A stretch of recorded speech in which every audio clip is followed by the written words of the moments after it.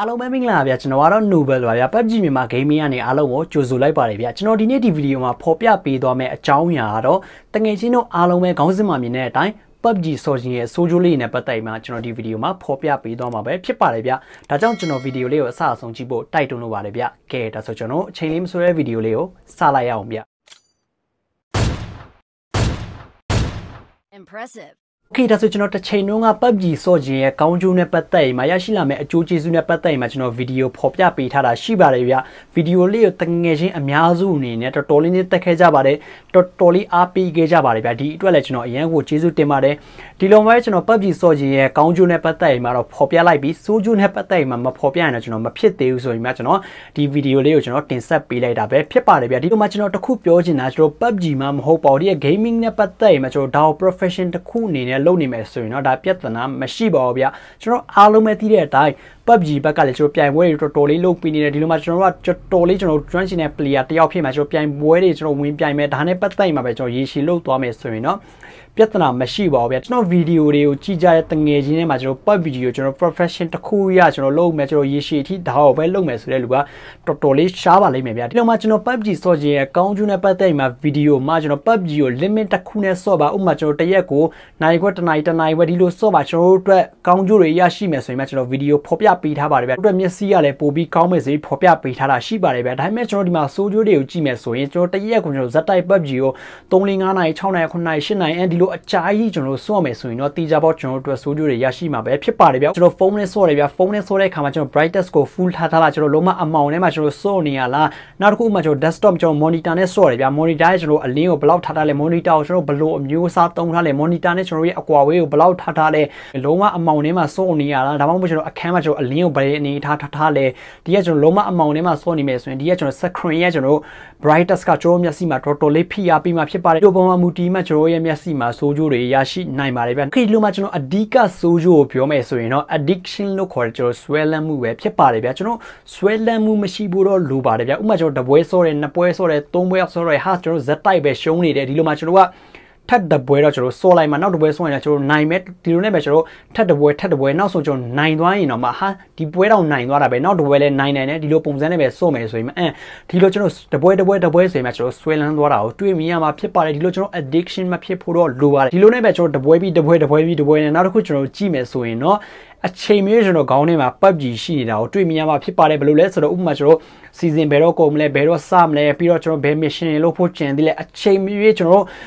အချိန်မျိုးအချိန်မျိုးကျွန်တော်ခေါင်းထဲမှာဒီ PUBG နဲ့ပတ်သက်ရင်မှာပဲကျွန်တော်တွေးနေတာကိုတွေးမြင်ရမှာပဲဖြစ်ပါတယ်ဗျဒါဟာလုံးဝကျွန်တော်တို့စိုးကျိုးပဲဖြစ်ပါတယ်ဥပမာကျွန်တော်ကြောင်းသားဗျကျွန်တော်အလုပ်လုပ်တယ်ဗျဆိုတော့ဒီမှာကျွန်တော်စာတွေကအုံနောက်ထဲမှာမရှိတော့ပါဘူးဗျဒီလိုမှကျွန်တော်ဒီရဲ့ PUBG PUBG PUBG ဟာဘယ်တော့ဘယ် mission လုပ်ရမလဲ season ဘယ်တော့ကုန်မလဲကျွန်တော် RP ဘယ်လိုဝယ်ရမလဲဒါလေးတွေနဲ့ပတ်သက်ရင်မှာပဲခေါင်းထဲမှာတွေးနေမှာဖြစ်ပါတယ်ဒါဟာကျွန်တော်တို့အတွက်အဓိကစိုးကျိုးပဲဖြစ်ပါတယ်ဗျဒီလိုမှကျွန်တော်နောက်တစ်ခုကြည့်မယ်ဆိုရင်ကျွန်တော်ခုနကပြောတဲ့အတိုင်း PUBG ကိုကျွန်တော်၄၅နိုင်6နိုင်9နိုင်ဒီလိုကျွန်တော်ဇက်တိုက်ကြီးစော့မယ်ကျွန်တော် limit နဲ့စော့ရင်တော့တေချာပေါက်တရက်ကိုကျွန်တော်နိုင်ခွက်တစ်နိုင်တစ်နိုင်ခွဲစော့ရင်တော့တေချာပေါက်ကောင်းကျိုးရရှိမှာဖြစ်ပါတယ်ဒီလိုမှကျွန်တော်၄၅6နိုင်လောက်ကျွန်တော်ဇက်တိုက်ကြီးစော့နေမယ်ဆိုရင်တော့ကျွန်တော် game ဆော့ပြီးရင်ဘယ်လိုဖြစ်မလဲဆိုတော့ကျွန်တော်တခြားလုပ်တွေဘာမှမလုပ်ချင်တော့တဲ့စိတ်မျိုးဖြစ်မှာဆိုတာသိကြပါတယ်ဗျဒီလိုမှကျွန်တော်တော်တော်လေးဟာ game ရောဆော့ပြီးတော့၄၅6နိုင်လောက်ဆော့ပြီးပြီဆိုရင်တခြားလုပ်တွေဟာပြင်းဖို့ကောင်းလိုက်တာဒီလိုဖြစ်မှာဆိုတာသိကြပါတယ်ဗျဘာလို့လဲဆိုတော့ဒီ game ဆော့ရတာကိုကျွန်တော်တော်တော်လေးနစ်သက်ပါတယ်ဗျနစ်သက်တော့ဒီမှာ game ဆော့နေတဲ့အချိန်မှာကျွန်တော်တို့ပျော်တယ် game ဆော့ပြီးရောကျွန်တော်၄၅6နိုင်လောက်နောက်ဆိုကျွန်တော်တခြားအလုပ်ဘာမှမလုပ်ချင်မဲ့တဲ့ကျွန်တော် တော်တော်လေးပြင်းသွားတာမျိုးခံစားရမှာဆိုတာသိကြပါတယ်ဗျာ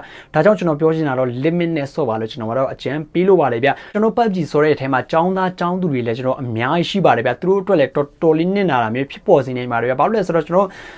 ကျောင်းမှာဗျာစာတင်နေဗျာစာတင်တဲ့အခါမှာလည်းကျွန်တော်စာထဲမှာအလောက်အာရုံမရှိတော့တာမျိုးတို့အချိန်မျိုးကျွန်တော်ပတ်ပြီးနဲ့ပတ်သက်ပြီးစဉ်းစားနေတာမျိုးတို့နောက်ဆုံးကျွန်တော်ကျောင်းကပြန်လာတယ်ဗျာကျွန်တော်ကျူရှင်ကပြန်လာတဲ့လွယ်အိတ်ချတယ်ကျွန်တော်ဒီ PUBG ပဲထိုင်ပြတဲ့တငယ်ချင်းတွေစုတဲ့ဖုန်းဆက်တယ်ဟာ PUBG ပြတ်တယ်ဒီလိုမှကျွန်တော်ပညာရေးမှာလည်းတော်တော်လေးထိခိုက်နိုင်ပါတယ်ဗျာဒီမှာကျွန်တော်ထိခိုက်နိုင်ပါတယ်တော့မဟုတ်ပါဘူးတကယ်တကယ်ကိုကျွန်တော်ထိခိုက်မှာဆိုတာသိကြပါတယ်ဗျာ ဒါကြောင့်ကျွန်တော်ပြောချင်တာတော့ limit နဲ့ဆော့ပါလို့ကျွန်တော်ကတော့အကြံပေးလို့ပါတယ်ဗျဒီထဲမှာကျွန်တော်နောက်တစ်ခုကြည့်မယ်ဆိုရင်ဒီတငယ်ချင်းထဲမှာကျွန်တော်အလုပ်လုပ်တဲ့လူတွေကအများကြီးရှိပါတယ်ဗျဒီထဲမှာအလုပ်လည်းပြတ်ပါတယ်ဗျကျွန်တော်အလုပ်ကခွင့်ယူပြီးမှကျွန်တော်အိမ်မှာ PUBG ဆော့တာမျိုးတော့ကျွန်တော်အလုပ်ကပြန်လာတယ်ဗျဟာအချိန်မျိုး PUBG တိုင်းတာမျိုးတော့ကျွန်တော်အလုပ်ထဲမှာအာရုံမရှိတော့ဘူးဗျ PUBG မှာ PUBG PUBG မှာ PUBG ဖြစ်နေတာမျိုးတော့အင်း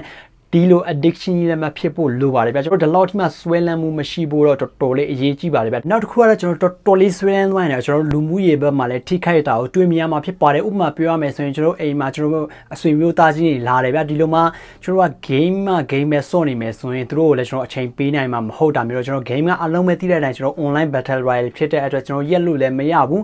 ဒီလိုမှကျွန်တော်မိတ်ဆွေအပေါင်းအသင်းနေနဲ့ကျွန်တော်စကားပြောတာတော်တော်လေးနေသွားမယ်ဆိုရင်ဥရဲ့ဘက်မှာလည်းတော်တော်လေးအားနေသွားတာကိုတွေ့မြင်ရမှာဖြစ်ပါတယ်ကျွန်တော်တငယ်ချင်းတွေလာတယ်ကျွန်တော်ဆွေမျိုးသားချင်းတွေလာတယ်ဆိုရင်လည်းဒီမှာကျွန်တော်အာယုံအလောက်ထားမိမှာမဟုတ်ပါဘူးဗျဒီလိုနဲ့ကျွန်တော်စိုးကြိုးတွေရရှိနိုင်ပါတယ်ကျွန်တော်ရှိမယ်ဆိုရင်ကျွန်တော်ပုံမှန်ချင်းနဲ့ကျွန်တော်ဆက်ဆံတဲ့နေရာမှာလည်းကျွန်တော်အလောက်ကြီးမှကျွန်တော် game အ game game အ game ဆိုတော့ကျွန်တော်အိမ်ကနေလည်းကျွန်တော်အပြင်မထွက်တာမျိုးတော့ and ဒီလောက်ထိမှကိုကျွန်တော်ဖြစ်သွားနိုင်ပါတယ်ဗျဒါကြောင့်ကျွန်တော်ပြောချင်တာတော့ဆွဲလန်းမှုမရှိပါနဲ့ကျွန်တော် limit နဲ့ဆော့ပါလို့ကျွန်တော်ကတော့အကြံပေးလိုပါတယ်ဗျအဲ့ဒီကကျွန်တော်တို့မတိမတိသလိုနဲ့တော်တော်လေးစိုးကြိုးတွေရရှိမှာဆိုတာသိကြပါတယ်ဗျပြောချင်တာလုံးဝမဆော့ပါနဲ့လို့ကျွန်တော်ပြောတာတော့မဟုတ်ပါဘူးဆော့ပါကျွန်တော်ပြောတဲ့ကောင်းကျိုးလေးတွေရရှိပါလိမ့်မယ်ဗျတရက်ကိုကျွန်တော်နိုင်ခွက်တစ်နိုင်တစ်နိုင်ခွက်ဒီလိုဆော့ရင်တေချာပေါက်ကျွန်တော်ပြောတဲ့ကျွန်တော်ဗီဒီယိုဖော်ပြပေးထားတာရှိပါတယ်ဗျဒီကကျွန်တော်ကောင်းကျိုးတွေတေချာပေါက်ရရှိပါလိမ့်မယ်ဗျဒါပေမဲ့ကျွန်တော်တို့အလွန်အကျွံဆော့မယ်ဆိုရင်တော့ကျွန်တော်တို့အတွက်စိုးကျိုးဖြစ်နိုင်တာကိုတွေ့မြင်ရမှာဖြစ်ပါတယ်ဒီလိုမှတငယ်ချင်းတို့အနေနဲ့ကျွန်တော်အိန္ဒိယမှာဖြစ်တဲ့တကယ်ကိုကျွန်တော်ကြောက်စရာကောင်းတဲ့ကျွန်တော်တို့ case တွေနဲ့ပတ်သက်ရင်မှလည်းကြားဘူးကြမယ်လို့ထင်ပါတယ်ဗျဥပမာပြောရမယ်ဆိုရင်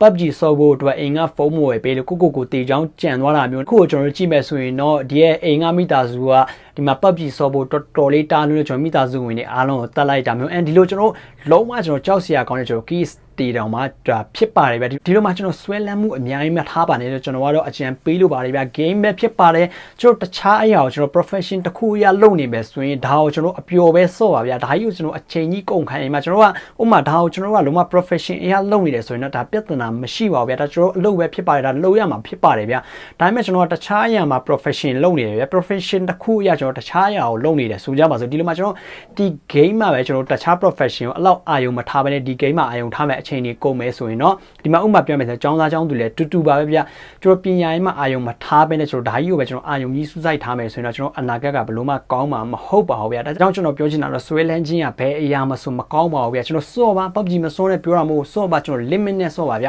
တရက်ကိုနိုင်ကိုတနိုင်တနိုင်ပဲအလွန်အလွန်မှကျွန်တော်နန်းနိုင်စော့ပါဗျကျွန်တော်တို့တေချာပေါက်ကောင်းကျိုးတွေရရှိမှာဆိုတာတေချာပါတယ်ဒီလိုမှ addiction ဖြစ်သွားရင်တော့ဆွဲလန်းမှုဖြစ်သွားရင်တော့ကျွန်တော်ခုနကပြောတဲ့ကျွန်တော်စိုးကျိုးတွေနဲ့ကြုံတွေ့ရမှာဆိုတော့ သေးကြပါတယ်ဗျ။ Okay ဒါဆိုတငယ်ချင်းတို့အားလုံးအနေနဲ့ဒီဗီဒီယိုလေးကိုနှစ်သက်မယ်လို့ကျွန်တော်မျှော်လင့်ပါတယ်ဗျာ။ဒါကတော့ကျွန်တော် PUBG ဆော့ရဲ့စိုးကျိုးနဲ့ပတ်သက်မှာကျွန်တော်အမြင်ကိုဖော်ပြပေးသွားတာပဲဖြစ်ပါတယ်ဗျာ။အဲမှာကျွန်တော်ဘက်ကနေပြောတာတွေမားကောင်းမားနာညာတွေရှိကောင်းရှိပါလိမ့်မယ်ဗျာ။ တငယ်ချင်းတို့အမြင်ကိုလည်းကျွန်တော် comment မှာဖော်ပြပေးသွားဖို့မမေ့ပါနဲ့လို့ကျွန်တော်ပြောလိုပါတယ်ဗျ။ခေဒါဆိုကျွန်တော်ထက်တစ်ခါပြောချင်တာကတော့ PUBG ကိုကျွန်တော်မစော့ပါနဲ့လို့ပြောတာမဟုတ်စော့ပါကျွန်တော်နိုင်ခွက်တစ်နိုင်တစ်နိုင်ခွက်အလွန်လုံးမှကျွန်တော်နှစ်နိုင်အန်ဒီလိုစော့ပါ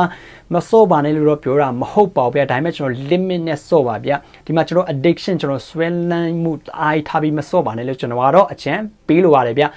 โอเคဒါဆိုအားလုံးပဲဒီဗီဒီယိုလေးကိုနှစ်သက်မယ်လို့ကျွန်တော်မျှော်လင့်ပါတယ်ဗျအခုလိုဗီဒီယိုကြည့်ရှုပေးတဲ့တကယ်ချင်းအားလုံးလည်းကျွန်တော်အထူးပင်ကျေးဇူးတင်ရှိပါတယ်ဗျ